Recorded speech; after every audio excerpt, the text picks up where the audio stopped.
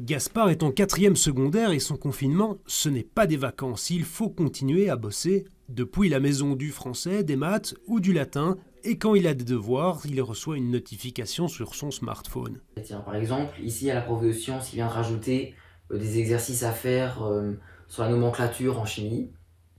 Euh, et il y a le prof d'anglais aussi qui vient nous rajouter quelques liens pour faire des écoutes ou des lectures, des écritures pour pouvoir bien, pour pouvoir bien s'entraîner quand on n'a pas cours. Hasard du calendrier, depuis cette année, son école utilise une nouvelle plateforme en ligne. Avec le confinement, c'est idéal pour poursuivre les cours. Ça permet aux élèves déjà d'avoir un journal de classe numérique, aux parents d'accéder au journal de classe aussi. Ça permet de communiquer avec les parents, avec les élèves. Ça permet de mettre des, exercices en ligne, des, cours en, PDF en couleur, de prendre les absences, de gérer les dossiers des élèves. Donc il y a pas mal de choses que, nous utilisons. Aujourd'hui, Gaspard bosse ses maths. Et oui, le prof vérifie s'il connaît bien la matière. Depuis le début du confinement, ils ont certains cours presque comme en classe.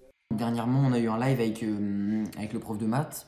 Et lui, ce qu'il fait pendant ses lives, c'est que on voit l'écran de son ordinateur et or, euh, il, donne cours en écrivant comme si c'était sur un tableau, mais sur son ordinateur. Du coup, on voit pas sa tête, mais on l'entend parler. Et pour ne rien oublier, Gaspard et son frère rattrapent aussi les cours de sport à la maison. Mais vous vous en doutez, pour cela, pas besoin de le leur rappeler avec une notification.